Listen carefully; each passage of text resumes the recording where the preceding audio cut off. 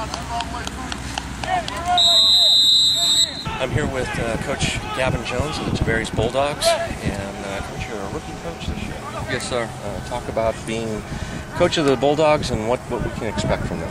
Uh, this year, you know, you can expect, you know, a well-disciplined team. Uh, the kids been working uh, real hard because we hold them accountable, you know, for everything that they do and everything like that. Can you talk about the, maybe the strengths and the weaknesses here?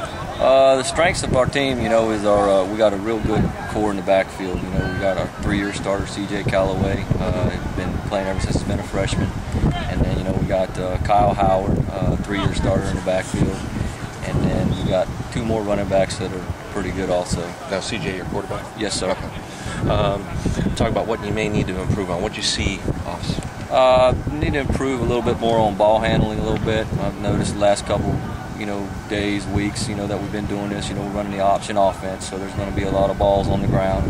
We're really working hard on that to keep, you know, ball security. Who's your defensive leader out of the field? Uh, we've got a couple of those guys. Uh, we've got Christian Lujan. Uh, we got Benny Piazza, who didn't play last year, but he played for me, you know, on that JV team. Uh, you got uh, Isaiah uh, Quesavito.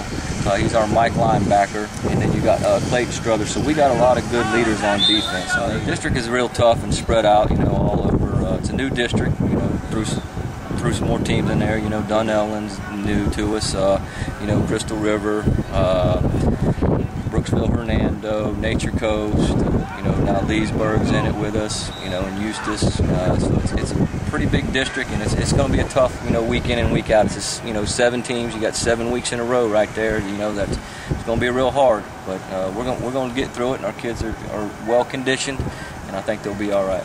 There's going to be some teams knocking other teams off that you're not expecting. Right. So you got to bring your A game every night, you know, every Friday night, because if not, there's going to be some upsets in this district.